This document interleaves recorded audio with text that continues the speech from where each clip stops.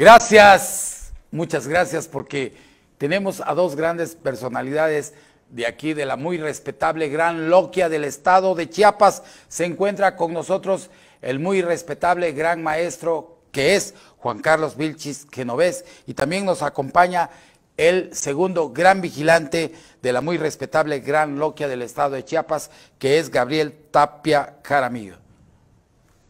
Mis queridos hermanos, bienvenidos a esta su casa. Como siempre, es un gusto recibirlos y sobre todo que nos vengan a visitar porque viniendo de los hombres de buenas costumbres, es un gusto tenerlos a los dos. ¿A qué debemos su visita de que hoy estén aquí con nosotros? Pues mire, señor licenciado Felipe Alamilla, pues es un placer estar aquí en, este estrado artístico noticioso. Y digo artístico porque el diario de Chiapas presenta eh, muchas facetas, muchos personajes, mucha de diferente índole, ¿verdad? Así es. Eh, entonces les decía que en los aquellos años de mil, en el año de 1984, 85 colaborando para el diario de Chiapas, eh, iniciando con artículos eh, y de tipo psicológico, filosófico. En aquel entonces se llamaba el diario de Chiapas, hoy pues eh, por obvias razones se cambió el nombre. Se llamaba El Día. El Día se llamaba. El Día en aquel entonces. el diario de Chiapas. Así es. Pues venimos en representación de la muy respetable Gran Logia del Estado de Chiapas a, apoyar al amigo Isván Álvarez que fue agredido. De hecho, se publicó una carta abierta para para eh, la, el señor presidente de la República. Aquí la tengo la carta eh, que me hicieron llegar, la, la cual yo les agradezco Aquí está la carta que le enviaron al señor presidente, al señor gobernador y a todos los órganos eh, de aquí del gobierno de Chiapas. Muy bien, cosa que, que dice, le quiero leer tantito lo que dice, la muy respetable Gran Loquia del Estado de Chiapas condena enérgicamente los hechos ocurridos por la noche del pasado 1 de julio en nuestra ciudad capital de Tustra Gutiérrez, Chiapas, donde la familia, la familia Álvarez Toledo fue agredida por violencia de género, violencia psicológica y violencia física por Raúl N., que fue la persona que disparó el arma, que es una escuadra 45, y fue lo que fue a pegarle al hijo de, eh, de Ispan. Así es, efectivamente, licenciado Alamilla, eh, sí. Eh, ya sabemos todo el contexto, ¿verdad? Se le ha dado mucha difusión y pues eh, él es miembro de este, ah, de este cuerpo filosófico, psicológico, eh, no religioso porque a veces confunden la gente común y es normal, ¿no? No están adentrados. Pero pues en mi carácter de representante de los masones de Chiapas, vengo a exigir porque los derechos se exigen, no se mendigan, a que haga, se haya, haya justicia, haya seguridad pública, en el Estado para poder salir con toda la confianza, licenciado Lamilla, porque no es posible que eh, haya tanta inseguridad en Chiapas. Y sabemos perfectamente que esto le va a llegar al licenciado Andrés Manuel López Obrador para que ponga los, puntos sobre las IES, que los chiapanecos estamos desamparados y que necesitamos la Guardia Nacional para que se aplique el Estado de Derecho. Así es. Este, muy respetable gran maestro, ya con nosotros estuvo el papá del niño que es Isvan Álvarez Álvarez y nos comentó que el gobernador ya lo había recibido. Tenemos entendido eso y que ya hay el apoyo del el gobierno del estado de Chiapas. Sí, efectivamente, eh, eso es lo que nos ha comentado. Sin embargo, pues el proceso sigue, todavía el niño ah, está hospitalizado eh, a ese respecto, yo quisiera también darle la palabra al segundo gran vigilante, Gabriel Tapia Jaramillo. Eh, sí, gracias, este, muy respetable gran maestro, Juan Carlos Vilche Genovés. Eh, antes de tomar la palabra, quisiera agradecerle al licenciado Felipe Alamilla Lara por darnos el espacio en, en, este programa que pues es denuncia pública, es un espacio para el pueblo para que el pueblo se pueda manifestar y poder expresar sus inconformidades, el cual este, pues yo eh, celebro que se haya dado este, el espacio de, de, lo que es denuncia pública. Al respecto de lo cual eh, toma el caso de Isvan Álvarez hacia la agresión que tuvo su familia, eh, yo considero de que tenemos que tener un poco de tolerancia para que las autoridades puedan ejercer, eh, ahora sí que todo lo que conlleva a poner las cosas en su lugar. Y bueno, por el caso de que él pide la ayuda a nuestro señor gobernador, pues yo quisiera sugerirle de que si hay la posibilidad de apoyar a este hermano con un seguro de gastos médicos para eh, su niño, sería, creo yo, una forma eh, más viable, porque este niño eh, pues va a tener que lidiar ya una nueva vida en donde tiene que pasar incomodidades de que tienen que ahora llevarlo a hacer sus necesidades, a tener un cuidado extremo, a verlo prácticamente como un bebé. Y esto pues es un asunto que creo que va a tener que, eh, ahora sí que, vivirlo cotidianamente durante todo el resto de su vida, desgraciadamente. Así, es. de que creo yo de que sí sería este, muy, muy benéfico para la familia que el gobierno viera la forma. No sé en quién pueda recaer este, que se le otorgue eh, un seguro de gastos médicos. Pues qué bueno. qué bueno, este, eh, segundo gran vigilante de la muy respetable Gran Loquia del Estado y también al muy respetable gran maestro Juan Carlos Vilchis, que no es. Pues ya yo les agradezco que hayan venido. Esta es su casa. Aquí cumplimos con un deber ciudadano. Esta es una empresa por más de 46 años que ha servido a todo el territorio mexicano, sobre todo a Tuzla y a Chiapas, porque es un deber servir de frente a la sociedad. Y aprovechando que están aquí, yo les quiero hacer unas preguntas porque es muy interesante hablar con los hijos de la viuda, sobre todo ustedes, que son los masones. Quiero preguntarle, eh, muy respetable gran maestro, eh, ¿la masonería es una religión? No, licenciado. Licenciado Lamilla, eh, a veces el pueblo, la Vox Populix, dice que piensa que es una religión. No, creemos en Dios, no somos ateos. inclusive es un requisito indispensable para poder ingresar a, la, a la orden, creer en una energía superior, creer en, un creador, creer en... Nosotros le llamamos el gran arquitecto del universo, porque eh, para no mencionar otros términos, ¿no? Así es. Eh, algunos le llaman Jehová, otros le llaman Dios, otros le llaman eh, etcétera. Así es. Desde esa perspectiva, nosotros creemos en una energía superior que nos mueve, porque como dice Heráclito, el padre de la dialéctica, 500 años antes de Cristo, de que eh, dice que todo cambia, lo único que no cambia es el cambio mismo. Nosotros creemos en Dios, pero le llamamos gran arquitecto del universo y es un requisito inalienable para poder ingresar a la orden, licenciado. Así es, qué bueno, ha quedado claro para todas, porque ayer unas personas me hablaban, dice, oye, pregúntale ahí a ellos eh, si son una religión o qué son, ok, pues ya quedó claro eh, no son una religión, están al servicio de la humanidad. Le pregunto aquí al gran segundo vigilante que es Gabriel Tapia Jaramillo, eh, ¿cuáles son los beneficios de ser masón? Eh, bien, este, licenciado Felipe. Mira, los beneficios que puede tener un masón, sí.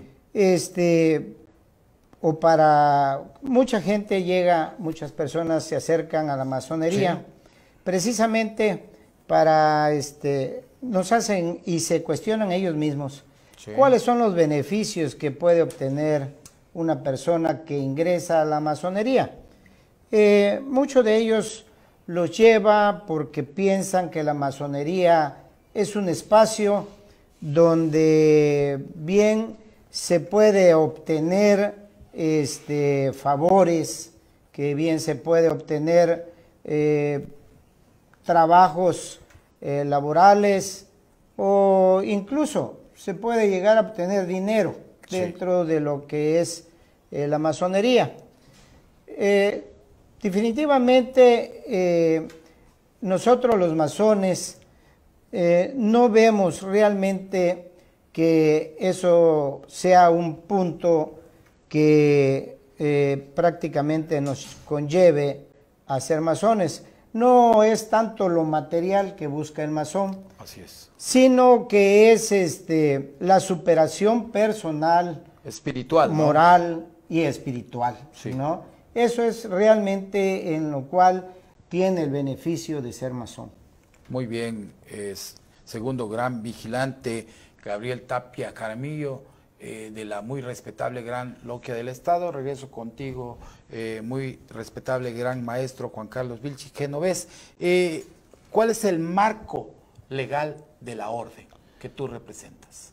Gracias, licenciado. El marco legal que tenemos es nuestra constitución que consta de 107 artículos y, eso es lo que, 107 artículos y basados en el en el artículo noveno de nuestra Carta Magna, que es la Constitución Política de los Estados Unidos Mexicanos, por el derecho de, reunión, ¿verdad? De asociarse, y eso nos da un panorama, siempre y cuando sea legal, honesto, honrado, eh, que no vaya en contra del sistema político, es lo que marca la Carta Magna. Desde esa perspectiva, estamos cumpliendo con ese canon jurídico y también cada taller tiene sus propios estatutos, eh, sus reglamentos internos, eh, que les marca eh, a través de usos y costumbres. Los masones respetamos la ley, respetamos a las autoridades legalmente constituidas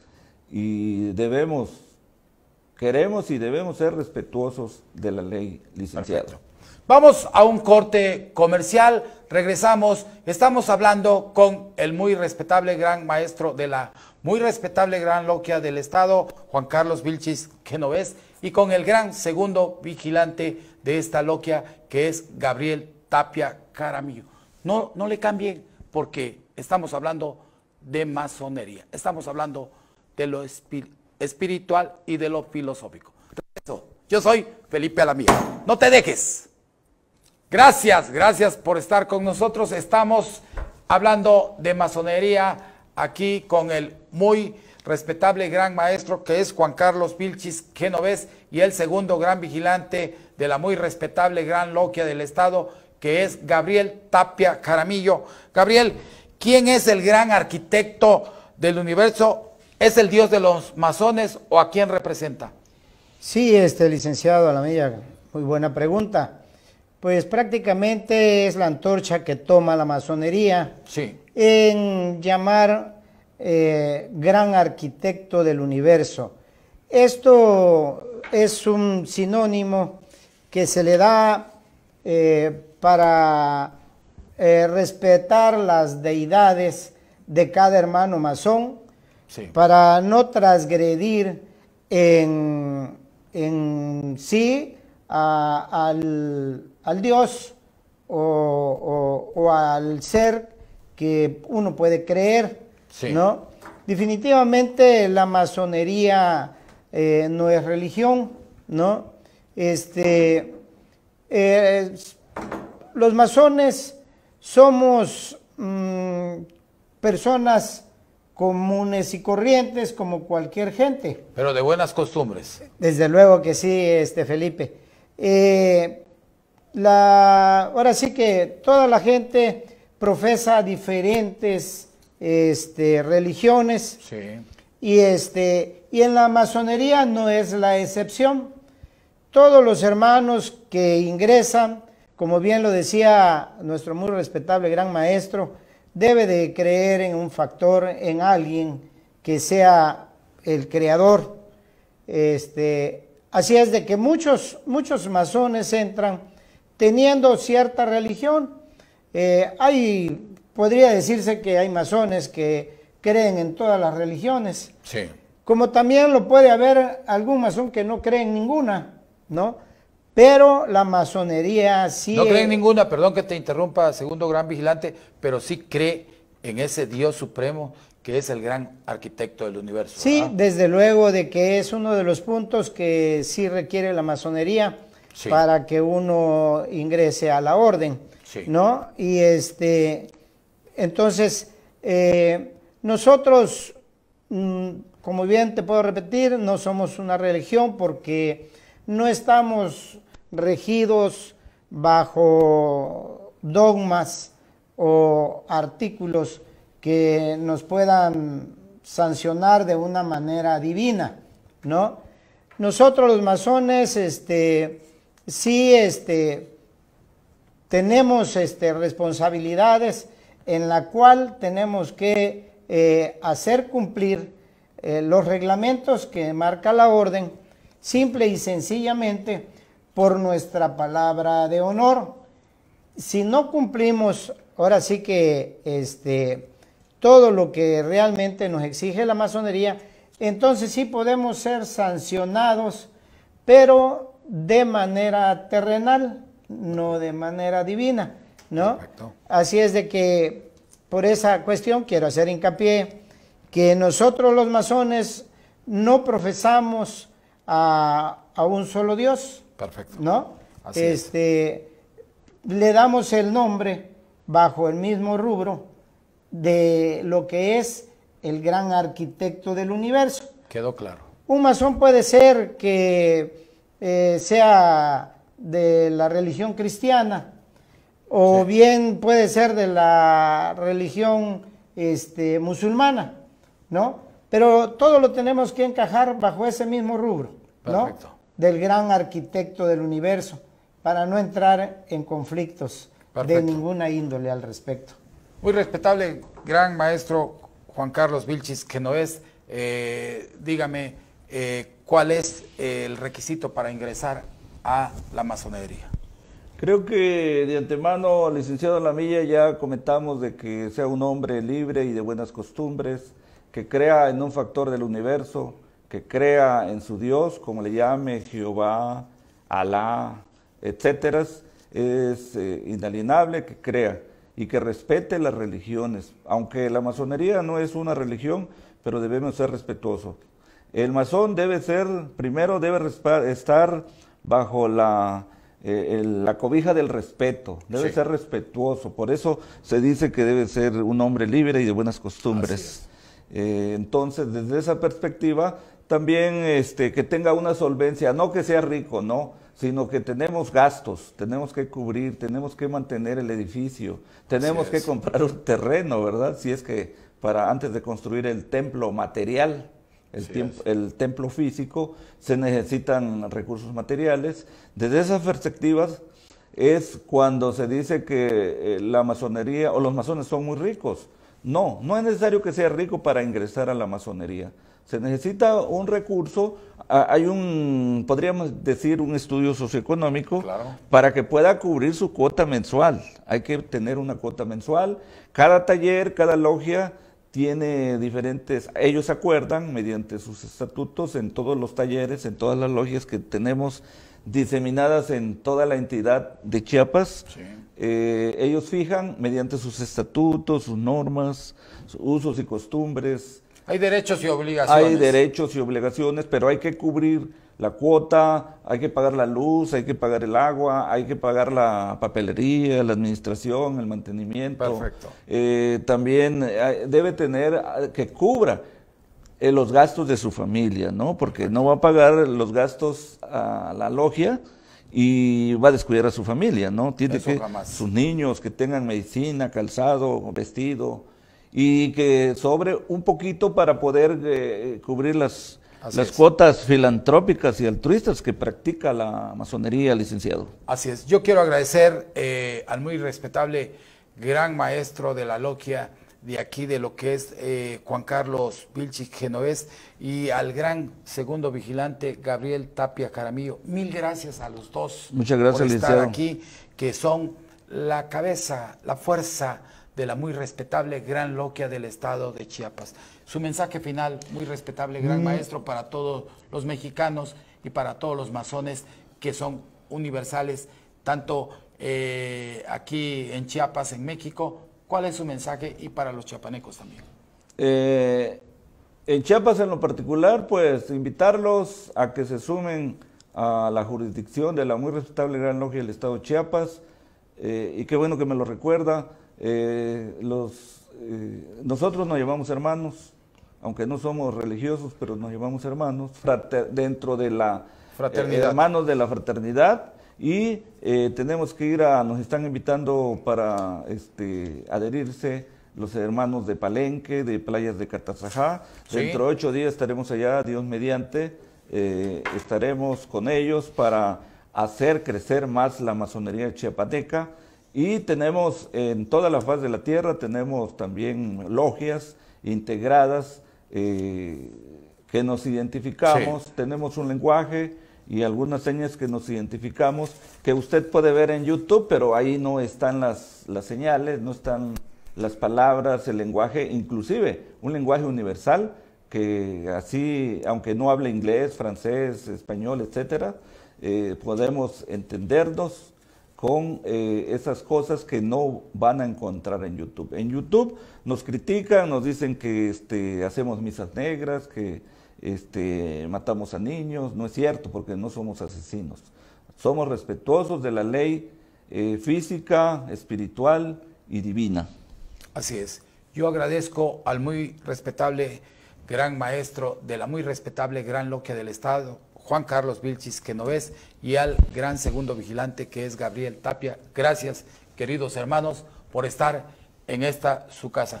Mi abrazo mi abrazo para ustedes, este, Felipe eh, fraternal. Llévenle el abrazo fraternal de esta empresa a todos, a todos los hermanos masones de Chiapas, de los municipios, sobre todo, qué bueno que van a estar por esas tierras de Palenque y por lo que es allá Playa de Catazá. Llévenle mi abrazo a esos orientes y los quiero a todos. Esta fue la entrevista con el muy respetable gran maestro de la muy respetable logia del Estado de Chiapas, que es Juan Carlos Vilchis, que no es, y el segundo gran vigilante, que es, que es nada menos Juan, que es Gabriel Tapia Jaramillo. Gracias, Me da gusto tenerlos aquí y que el gran arquitecto del universo le dé luz para seguir en este gran camino que es la masonería universal, chiapaneca y mexicana. Que así sea. Que así sea. Vamos, eh, los espero hoy a las 6 de la tarde en el programa Después de todo con el chico de moda, que es nada menos que el patrón Tron Tron Tron. Yo les recomiendo que escuchen y vean a través de la plataforma de la Torre Digital del Diario de Chiapas y de la 97.7 FM, la radio de todos, después de todo. Y que estén con nosotros. La próxima semana regresa todo el equipo de lo que es la torre digital del diario de Chiapas. Me da gusto también saludar que ya está con nosotros la belleza andante, que es Ofelia de la Rosa. Que vengan muchos años de salud y sobre todo sabe, licenciada, que todos los que elaboramos en esta empresa, lo que es el grupo multimedia y lo que es radio, le queremos. Le recuerdo que hoy es viernes tenemos un fin de semana muy hermoso.